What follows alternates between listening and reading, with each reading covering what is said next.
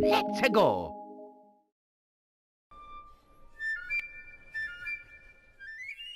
صباح الخير عليكم أينما كنتم على أرض الله الطيبة. يا رب يكون يومكم جميل وسهل ويا رب يخلص وأنتم مبسوطين.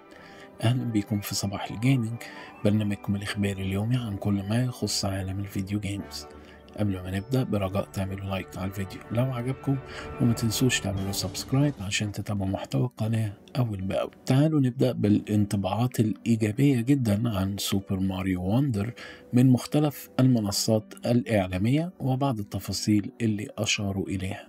مثلا إن كل مرحلة فيها مسارات متعددة ومخارج سرية وإن اللاعب لما بيفتح جزء من الخريطة بيخير من مجموعة من المراحل وأيضا الإبداع الشديد في ال animation أو تحريك الصور.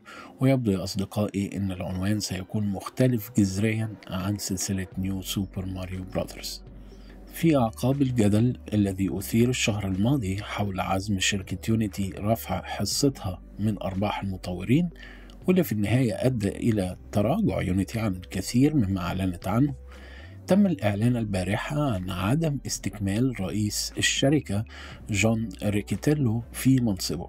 طبعا لم يتم الإعلان عن السبب في التغيير لا من قبل الشركة ولا من قبل ريكيتيلو ولكن بدون شك الإخفاق الكبير في إتمام سياسة التسعير الجديدة والجدل الذي أثير حولها كان له دور في هذا الأمر. كعادة كل شهر سربت Dealabs ألعاب ال PlayStation Plus Premium وال Extra لشهر أكتوبر والمرة دي الحقيقة تشكيلة معقولة جدا. Disco Elysium لعبة رائعة.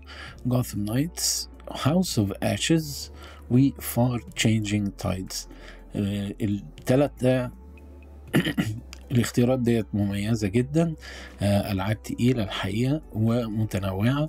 بالمناسبة Disco Elysium يعني لمحبي ألعاب ال RPG المتمكنين من اللغة الإنجليزية لازم يجربوها.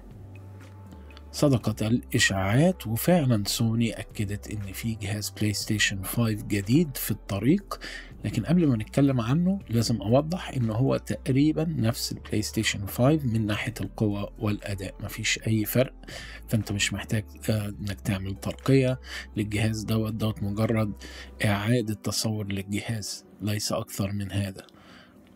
الجهاز هيبقى حجمه أصغر بنسبة 30% الوزن أخف بنسبة 18% وهيكون سعته tera.